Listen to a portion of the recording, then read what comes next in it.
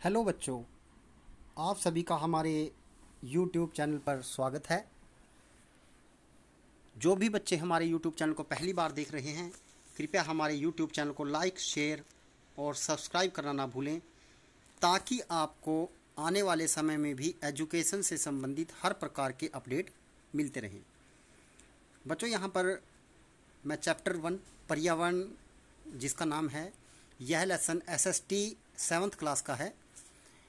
और यह ज्योग्राफी से सेवन्थ क्लास क्लास की ज्योग्राफी का लेसन है।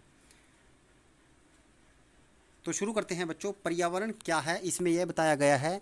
और पर्यावरण के क्या क्या लाभ हैं और पर्यावरण के दूषित होने पर हमें क्या क्या नुकसान उठाने पड़ सकते हैं, वो सब बातों का ज़िक्र हम इन पूरे लेसन के दौरान करेंगे।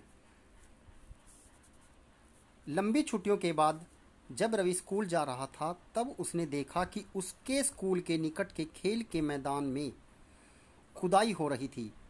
वहीं एक मैदान उनके खेलने के लिए वहाँ पर था। लोगों ने बताया कि वहाँ अनेक फ्लैटों वाली एक बड़ी इमारत बनेगी। जब रवि को समझ में आया कि मुलायम घास, गेंदे के फूल एवं तितलियों वाला विशाल मैदान अब हमेशा के लिए नष्ट हो चुका है तो उसकी आँखों से आँसू छलकने लगे। उसने यह बात अपने सहपाठी को बताई। सुबह की समय में प्रधानाचार्य ने भी बहुत उदासी से कहा, देखो, कैसे हमारा पर्यावरण बदल रहा है। कक्षा में पहुंचकर रवि ने शिक्षक से पूछा, पर्यावरण क्या है? जो कुछ भी आप हमारे आसपास देखते हो, शिक्षक ने बताया। तो बच्चों, पर्यावरण क्या है? यह एक लाइन में ही कवर हो जाता है। जब रवि ने सवाल पूछा कि पर्यावरण क्या है? तब शिक्षक ने उत्तर दिया, जो भी हमारे आसपास हम देखते हैं, वो पर्यावरण है। तो बच्चों, पर्यावरण में हर जो भी चीज़ आपके पास, आसपास मौजूद है, हवा, वायु, पानी, जीव, जंतु या कोई भी वस्तु, चाहे वो नेचर मेड हो, प्राकृतिक बनाई हो, या फिर वह मैन मेड हो, हम उसको पर्यावरण के अंदर काउंट करते हैं। रवि कहने लगा, इसका अर्थ है स्कूल भवन, मेज, कक्षा में कुर्सी रखी है, यहाँ तक कि खुला मैदान, सड़क, कूड़ा करकट, मेरे दोस्त, ये सभी पर्यावरण के अंग हैं? हाँ शिक्षक ने कहा, लेकिन जरा रुको, कुछ वस्तुओं का निर्माण प्राकृतिक ने किया है, जैसे पर्वत, नदियाँ, पेड़, प्राणी, जबकि अन्य का निर्माण मानव ने किया है, जैसे सड़क, कार, किताबें, कपड़े आदि।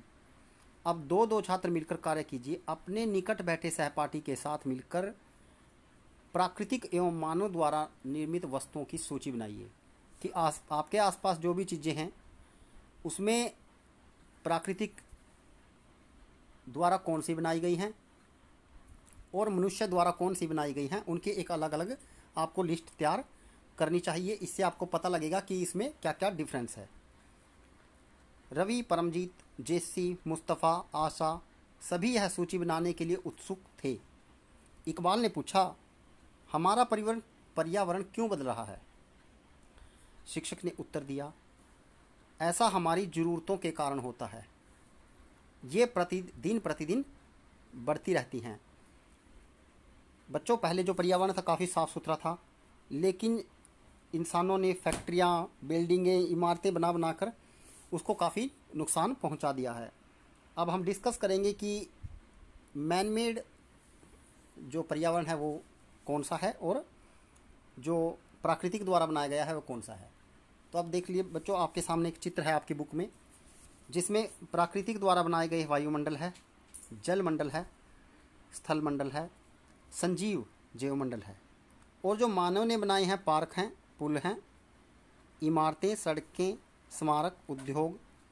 इस प्रकार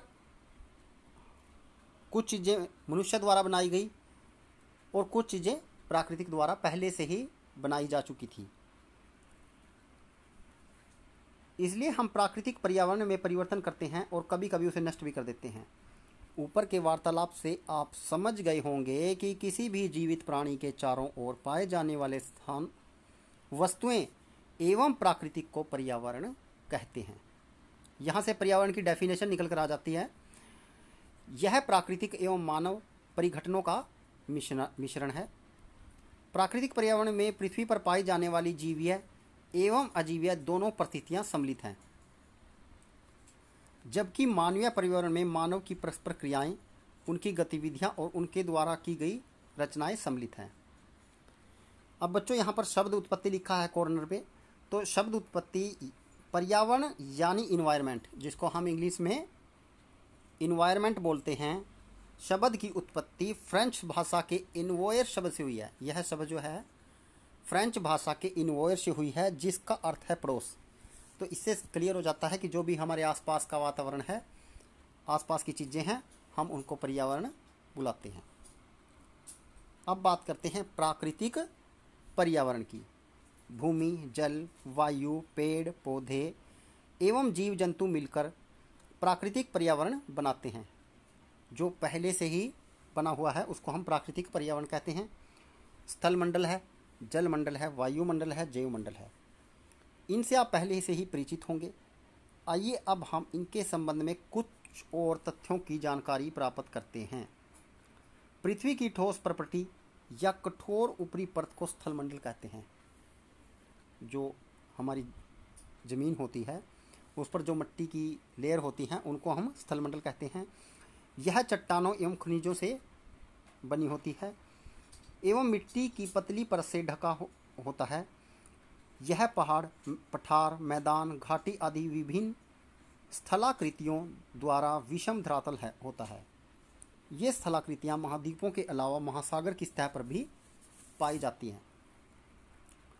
स्थल मंडल वह क्षेत्र है जो हमें वन, कृषि, मानव बस्तियों के लिए भूमि, पशुओं के चराने के लिए घास स्थान व खनिज संपदा का एक विशेष स्त्रोत्र है। जो स्थलमंडल वह है जहाँ पर हम रहते हैं, हमारे आसपास का जो स्ट्रक्चर है, हम उसे स्थलमंडल बुलाते हैं। अब बात कर लेते हैं जल के क्षेत्र की। जल के क्षेत्र को जल मंडल कहते हैं, जहाँ पर समुद्र है, नदियाँ हैं, नाले हैं, तालाब हैं। यह जल के स्रोत है नदी, झील, समुद्र, महासागर आदि। विभिन्न जलाशयों से मिलकर बनता है। यह सभी प्राणियों के लिए आवश्यक है, क्योंकि जल के बिना जीवन की कल्पना नहीं की जा सकती। पृथ्वी के चारों ओर फैली वायु की पतली परत को वायुमंडल कहते हैं। अब बात करते हैं वायुमंडल की। जो हमारे आसपास गैसों का एक वायु होती है हमारे पास ऑक्सीजन कार्बन डाइऑक्साइड वगैरह तो उसको हम वायुमंडल की संज्ञा देते हैं। पृथ्वी का गुरुत्वाकर्षण बल अपने चारों ओर के वायुमंडल को थामे रखता है। वह सूर्य की झुलसने वाली गर्मी एवं हानिकारक किरणों से हमारी रक्षा भी करता है। वायुमंडल में कई प्रकार की गैस, धूल, कण, जलवाष्प उपस्थित होते हैं। वायुमंडल में परिवर्तन होने से मौसम एवं जलवायु में परिवर्तन होता है। जब वायुमंडल में परिवर्तन होता है, तभी वर्षा आदि होते हैं। पादम एवं जीव जंतु मिलकर जैवमंडल बनाते हैं। संजीव संसार का निर्माण करते हैं। यह पृथ्वी का वह संकीर्ण क्षेत्र है, जहाँ स्थल, जल और वायु मिलकर जीवन की संभाव, संभव बनाते हैं। जब बात आती है जैवमंडल की तो जैवमंडल का तभी जैवमंडल संभव है जब वायुमंडल, स्थलमंडल और जलमंडल यह तीनों उपस्थित हों तभी वहाँ पर जीवन की संभावना हो सकती है। परितंत्र। रवि की कक्षा के एक एनसीसी कैंप में जेसी ने आश्चर्य से कहा, कितनी मूसलाधार वर्षा हो रही है, इससे मुझे अपना केरल याद आ गया। अब यहाँ पर केरल, जेसी ने केरल की बात की तो इससे पता चलता है कि जेसी केरला की है और वहाँ मूसलाधार बरसात होती है। तुम सबने आकर देखना चाहिए कि कैसे हरे भरे खेतों एवं नारियल के बागानों में लगातार बारिश होती है। तभी जैसलमेर के रहने वाले हीरा ने आश्चर्य से कहा, हमारे यहाँ वर्षा नहीं होती। हमारे यहाँ तो दूर दूर तक कीकर एवं रेत ही नज़र आते हैं। लेकिन वहाँ ऊँट भी तो मिलते हैं, रवि ने कहा। जैसलमेर नगर राजस्थान में है और वह रेगिस्तानी एरिया है, इसलिए वहाँ पर बरसात नहीं होती। केवल रेत और कांटेदार झाड़ियाँ वहाँ पर पाई जाती हैं। हीरा ने कहा, ऊँट तो मिलेंगे ही। जब तुम हमारे रेगिस्तान में आओगे तो तुम्हें सांप छिपकली और अनेक कीट भी देखने को मिलेंगे। रवि हैरत में पड़ गया। विभिन्न स्थानों पर पाए जाने वाले जीव जंतु वनस्पति एवं लोगों के रहन सहन के तरीके कितने भिन्न क्यों हैं? क्या सभी का एक दूसरे के साथ संबंध है? बिल्कुल बहुत संबंध है, शिक्षक ने कहा। सभी पेड़ पौधे जीव जंतु एवं मानव अपने आसपास के पर्यावरण पर आश्रित होते हैं। वो एक दूसरे के ऊपर डिपेंड होते हैं। प्राय वे एक दूसरे पर आश्रित भी हैं। जीवधारियों का आपसी एवं अपने आसपास के पर्यावरण के बीच का संबंध ही परितंत्र का निर्माण करता है कि वो एक दूसरे की ज़रूरत होती है उन्हें और वो एक दूसरे का कहीं ना कहीं प्रत्यक्ष, अप्रत्यक्ष तौर पर मदद करते हैं। अधिक वर्षा वाले वन, घास, रेगिस्तान, पर्वत, झील, नदी, महासागर एवं छोटे से ताल का भी एक परितंत्र होता है। क्या आपको लगता है कि जिस पार्क में रवि एवं उसके मित्र खेलते थे, वह भी एक परितंत्र बनाता है? मानवीय पर्यावरण। अब बात करते हैं मानव के पर्यावरण की, जो मानव द्वारा बनाया गया है। अभी तक हम पढ़ रहे थे, जो प्राकृतिक ने पहले से पर्यावरण बना रखा है। मानव अपने पर्यावरण के साथ परस्पर क्रिया करता है और उसमें अपनी आवश्यकता के अनुसार परिवर्तन करता रहता है। प्रारंभिक मानव ने स्वयं को प्राकृतिक के अनुरूप बना लिया था।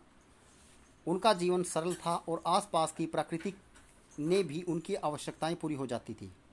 जो प्राचीन काल के लोग थे, वो ज़्यादा छेड़ छेड़खानी वनों के साथ नहीं करते थे।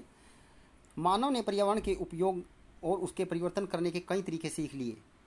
उसने फ़सल उगाई, पशु पाले, स्थायी जीवन जीना सीख लिया, पहिए का आविष्कार, आवश्यकता से अधिक अन्न उपजाया गया, वस्तु विनय पद्धति का विकास हुआ। यहाँ पर वस्तु विनय पद्धति है कि एक चीज़ के बदले आप दूसरी चीज़ उससे ले सकते हैं। अनाज के बदले आप कुछ सामान ले सकते हैं। तो यह वस्तु विनय की पद्धतियाँ हैं। व्यापार आरंभ हुआ और वाणिज्य का विकास हुआ। औद्योगिक क्रांति में से बड़े बड़े पैमाने पर उत्पादन आरंभ हो गया। परिवहन तेज गति से प्रारंभ हुआ। सूचना क्रांति ने पूरे विश्व में संचार सहज और द्रुत हो गया। क्या आप जानते हैं कि गर्मी में रसीला, तरबूज एवं सर्दी में भुनी हुई मूंगफली खाना क्यों पसंद करते हैं? प्राकृतिक एवं मानवीय पर्यावरण के बीच सही संतुलन होना आवश्यक है। मानव को पर्यावरण के साथ समरसता से रहने एवं उसका उपयोग सीखना चाहिए। रवि की कक्षा में मिजोरम की एक लड़की है, नूरी। वह अक्सर अपने स्थान की हरियाली की बात करती रहती है कि मिजोरम जो है काफ़ी हरा भरा है।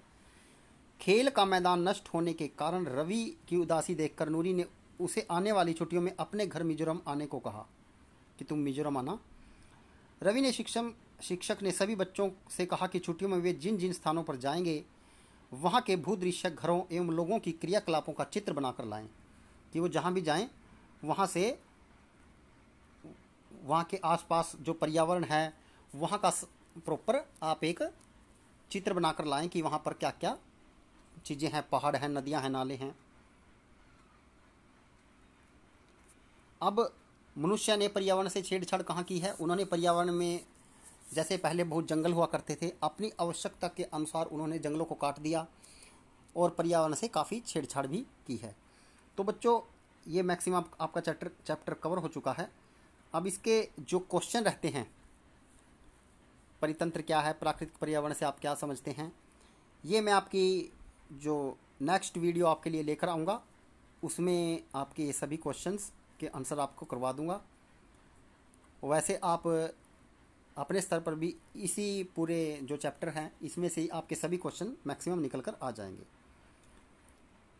बच्चों, हर प्रकार के एजुकेशन के अपडेट से जुड़ने के लिए हमारे यूट्यूब चैनल को लाइक, शेयर और सब्सक्राइब करना ना भूलें।